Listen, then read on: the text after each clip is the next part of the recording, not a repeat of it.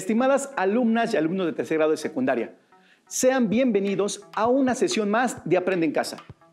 Es un gusto acompañarlos y deseamos que durante el desarrollo de la sesión logren avanzar en su proceso educativo.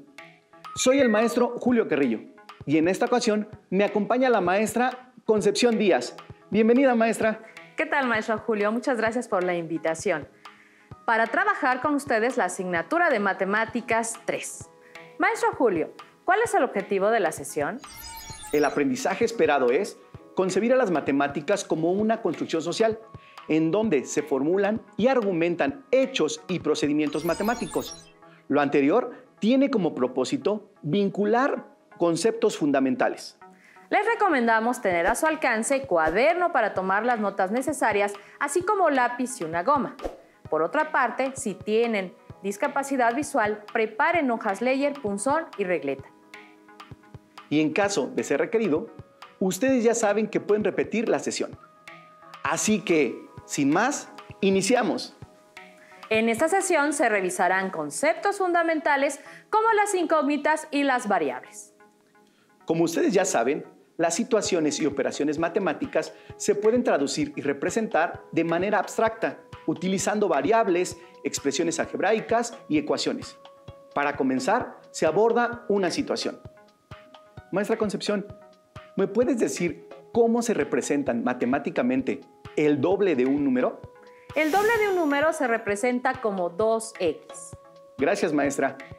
Y en la expresión 2x, ¿cuál es el valor de x?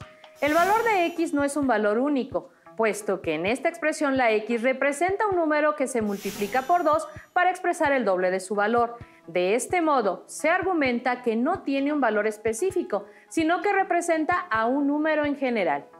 Así es, maestra.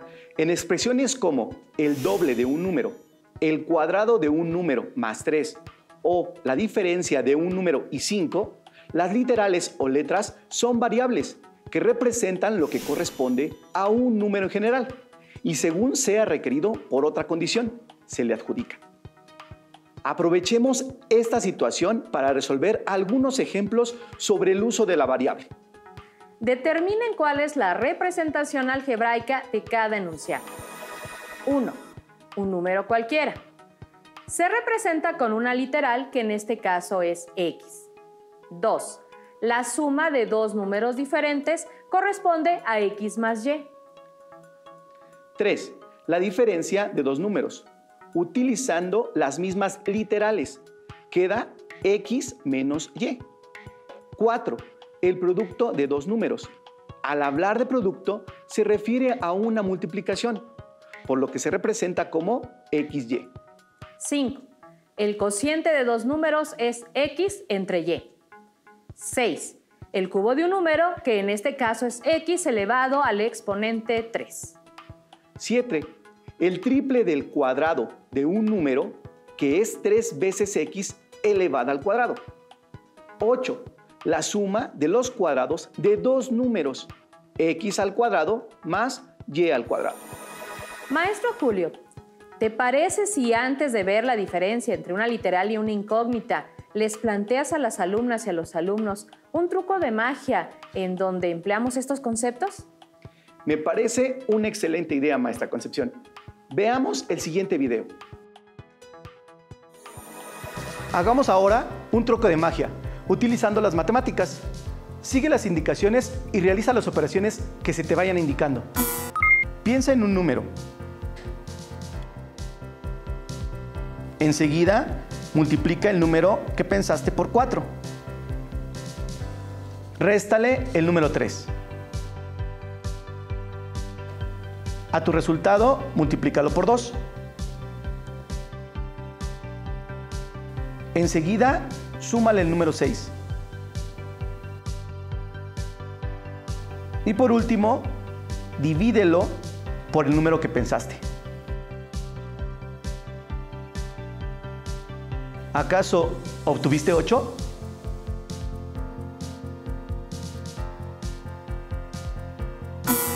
Hagámoslo ahora con el número que desees. Piensa en un número, el que tú prefieras. Enseguida, multiplícalo por 4. Réstale el número 3. A tu resultado, multiplícalo por 2. Súmale el número 6 y por último, divídelo entre el número que tú pensaste. Volviste a obtener 8, ¿verdad? ¿Magia? Claro. Este tipo de procedimientos matemáticos se pueden utilizar debido a que el número pensado se sustituye en expresiones que siempre se pueden reducir a una cantidad exacta previamente calculada, como lo es 2 por la diferencia de 4x menos 3. A esto se le suma 6 y todo entre x. Al reducir esta expresión solo se obtiene 8, de tal forma que no importa qué número se haya pensado, siempre resultará 8. En este ejemplo, la variable nuevamente representa a un número general. En este sentido, es pertinente aclarar que, aunque se emplean literales como x y y, en la representación algebraica de las expresiones anteriores, estas no están sirviendo como incógnitas porque no representan a un número específico por encontrar. Para mostrar la diferencia entre una literal que representa a un número en general y una incógnita, vamos a resolver la siguiente situación. Un grupo de amigos desea realizar un viaje. Se contrata un transporte que les cobrará un total de 10 mil pesos. Los amigos saben que para el viaje pueden gastar un máximo de 1.200 pesos, incluyendo alimentos y otros gastos. ¿Cuántos amigos pueden viajar en ese transporte para que a cada uno de ellos les quede 700 pesos para los gastos diversos? En este caso, el número de amigos se puede calcular con estos datos, considerando un costo máximo de 500 pesos para el transporte por persona. Así, si el costo total es de 10 mil pesos, se plantea que si X representa el número de personas, entonces se tiene 500 por X es igual a 10 mil. Se resuelve esta expresión y se tiene 500X igual a 10.000. X igual a 10.000 entre 500. X igual a 20. En este caso, 20 personas es la cantidad ideal. En el ejemplo se comprueba que es necesario plantear una expresión algebraica que permita calcular lo solicitado. Dicha expresión algebraica es una ecuación. En este caso, la literal x, que representa al número de personas se considera una incógnita y a través de la resolución de la ecuación se obtiene su valor.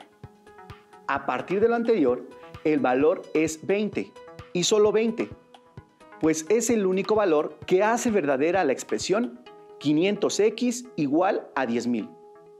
Esto resalta la característica principal de una incógnita, que es una literal, que representa a un valor único desconocido dentro de una expresión matemática.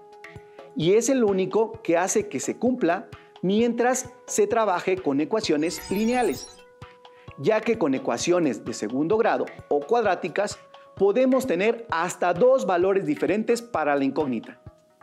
Maestro Julio, para aclarar más este concepto, ¿podría compartirnos el cuento de El mundo de las ecuaciones? Por supuesto, maestra. Ese cuento es uno de mis favoritos y estoy seguro que con él se fortalecerán estos conceptos. Veamos. El mundo de las ecuaciones. Érase una vez dos reinos que vivían en el mundo de las ecuaciones, el reino de los números conocidos y el reino de las letras desconocidas. Los dos reinos siempre habían tenido el mismo valor, pero ellos no lo sabían. Solo sabía el mago Merlín y su ayudante el dragón. Desafortunadamente un día, Merlín tuvo que ausentarse para ayudar al rey Arturo en la tierra. Esto generó entre los dos reinos un desacuerdo sobre quién tenía más valor que el otro. El trabajo del dragón era controlar de manera equilibrada las operaciones necesarias para la resolución de múltiples tipos y formas de ecuaciones, así como mantener la sana convivencia entre los habitantes de ambos reinos. Por lo que les propuse como reto resolver la ecuación 2x al cuadrado más 2 es igual a 34. Después de analizar la forma de la ecuación planteada, las alumnas y los alumnos de secundaria de ambos reinos llegaron a la conclusión que el resultado era 4.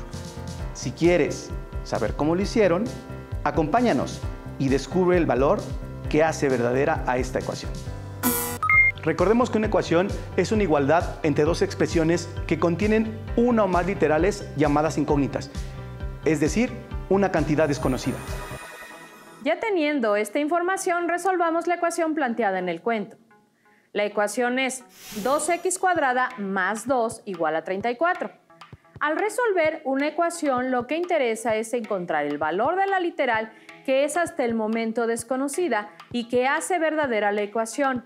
Es decir, que al realizar las operaciones indicadas, ambos miembros de la igualdad sean equivalentes. En este caso, se despeja la x y se tiene que 2x cuadrada es igual a 32. x cuadrada es igual a 32 entre 2. x cuadrada es igual a 16. x es igual a la raíz cuadrada de 16. x es igual a más menos 4. Y como ya es conocido por ustedes, al ser una ecuación de segundo grado, tiene dos soluciones. En este caso, la literal x representa a una incógnita, que por las características de la ecuación tiene dos posibles valores. Hasta aquí se tiene que una literal puede ser utilizada como un número general o como una incógnita. Para comprobarlo se tienen algunos ejemplos más en lo que se practica el uso de la literal como incógnita. En la ecuación x más 8 es igual a 10, para que la igualdad se cumpla, el valor de la incógnita x debe ser igual a... Para este caso, el valor de x debe ser igual a 2, ya que 2 más 8 es igual a 10 y 10 es igual a 10. En la ecuación 13 menos y igual a 8, para que la igualdad se cumpla, el valor de la incógnita y debe ser igual a... Para este caso, el valor de y debe ser igual a 5. Porque efectivamente, 13 menos 5 es igual a 8. Y 8 es igual a 8. El uso de una literal como incógnita es muy amplio y de uso generalizado en las matemáticas. Ustedes en casa es probable que hayan resuelto problemas como estos. La edad de Consuelo aumentada en 12 es igual a 41. ¿Cuál es la edad de Consuelo? Como no se conoce la edad de Consuelo, a este dato se le asigna la incógnita X. La edad aumentada en 12 queda expresada como X más 12. Para conocer la edad de Consuelo, la ecuación por resolver es X más 12 es igual a 41, por lo que la edad de Consuelo es de 29 años.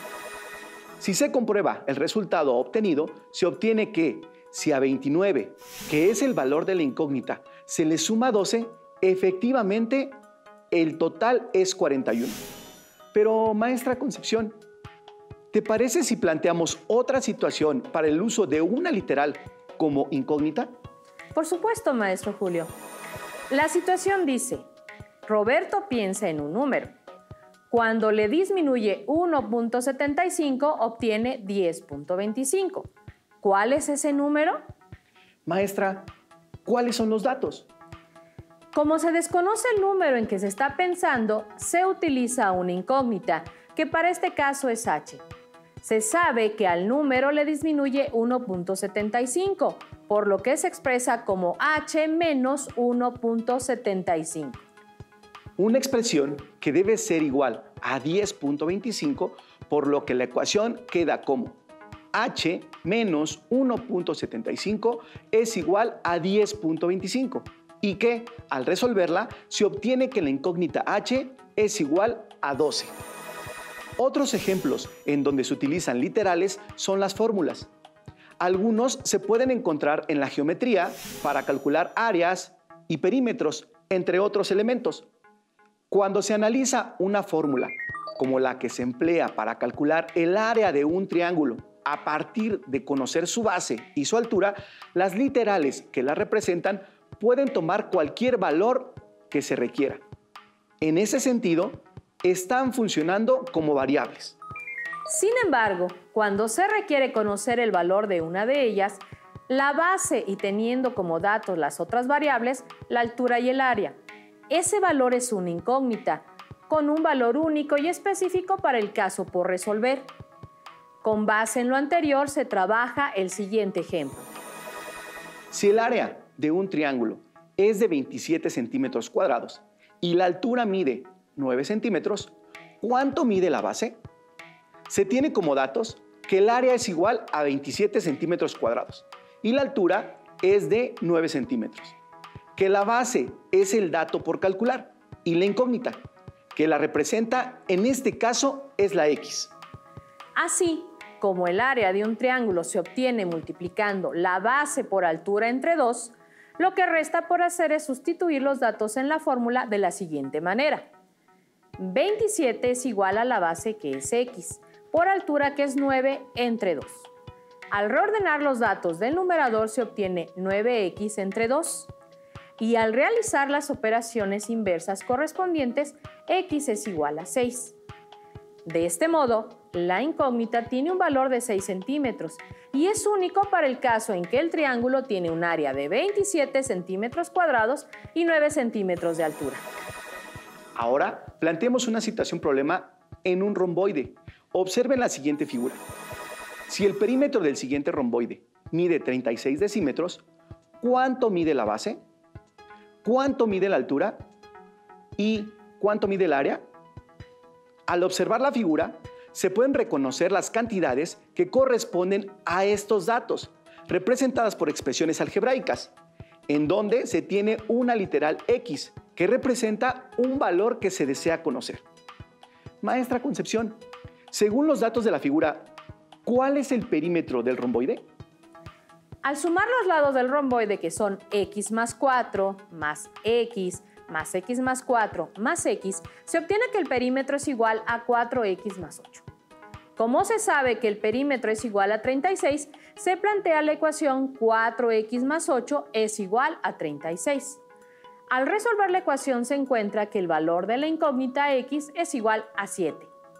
Por lo tanto, si sustituimos el valor de la incógnita en la base representada por x más 4, se tiene que 7 más 4 da como resultado 11 decímetros. Para la altura que es igual a x menos 1, al sustituir los valores se obtiene que es igual a 7 menos 1, cuyo resultado es 6 decímetros. Y para conocer cuánto mide el área, usamos la fórmula base por altura. En este caso, con la base y la altura ya calculadas, se tiene que el área es de 11 por 6, que es igual a 66 decímetros cuadrados. Maestro Julio, queda por analizar otra situación en donde el uso de la literal es una incógnita. Así es, se tiene la figura ABCD, un cuadrilátero del que se desea conocer el valor de x, marcado en el esquema. ¿Nos acompaña en el procedimiento, maestra Concepción? Por supuesto. Partimos de que la figura es un cuadrilátero en donde la suma de sus ángulos interiores es de 360 grados. En la figura se tienen tres ángulos marcados con las medidas de 125 grados, 70 grados y un ángulo que está marcado como ángulo recto de 90 grados, más el ángulo representado con la incógnita x. Con lo anterior, se forma una ecuación que es 125 más 70 más 90 más x igual a 360. Al despejar la incógnita x, se obtiene que esta es igual a 75 grados. De este modo, se encontró el valor de la incógnita, considerando la relación de las características geométricas de un cuadrilátero. Se aprovechan entonces este tipo de relación y el uso de la incógnita para resolverla. En la siguiente figura se tienen tres segmentos de recta. El segmento AA', que es paralelo al segmento CC', y el segmento SS', que es secante a los otros dos. Del esquema se requiere conocer el valor de los ángulos marcados. Si se observa la figura, primero se tiene que calcular el valor de x. Considerando que se tienen dos segmentos paralelos, con un segmento que al ser secante con ellos forma ocho ángulos con características particulares. Los ángulos representados por 2x más 50 grados y 4x menos 10 grados. Son ángulos alternos externos. por lo tanto son iguales. Entonces, lo primero que se realiza es igualar ambas expresiones para obtener una ecuación, quedando 4x menos 10 es igual a 2x más 50. Al resolver la ecuación, se tiene que el valor de x es igual a 30 grados. Para conocer el valor en grados de los ángulos marcados, se sustituye el valor de x en la expresión que representa el primer ángulo y se tiene que 2 por 30 grados más 50 grados es igual a 110 grados. Se realiza lo mismo para la segunda expresión, 4 por 30 grados menos 10 grados, que también es igual a 110 grados. De este modo, los ángulos marcados tienen un valor de 110 grados. Maestra Concepción, ¿se tiene algún otro uso para la literal? Sí, maestro Julio. Una variable puede presentar una tercera forma de uso al formar parte de una relación funcional. Es decir, la literal ahora es una variable que forma parte de la representación de una relación funcional entre dos grupos de datos que tienen una correspondencia entre sí. De este modo, se puede tomar un ejemplo sencillo. Si Susana es dos veces más alta que su hermano Tomás, la situación se puede representar como S igual a 2T. Si su hermano mide 0.56 metros Susana debe medir 2 por 0.56 metros, que corresponde a 1.12 metros. Para poder ver la relación funcional entre sus estaturas, se puede elaborar una tabla con valores diversos. Como se desconoce la estatura exacta de Tomás, se registran en la tabla estaturas promedios para un pequeño de 6 meses, que es la edad aproximada de Tomás y para esto se consideran los siguientes datos. Los valores de T van desde 0.65 metros hasta 0.85 metros de 5 centímetros en 5 centímetros. Así, para T igual a 0.65, tenemos que S es igual a 1.30 metros. Para T igual a 0.70 metros, S es igual a 1.40 metros. Para t igual a 0.75 metros, S es igual a 1.50 metros. Para t igual a 0.80 metros, S es igual a 1.60 metros.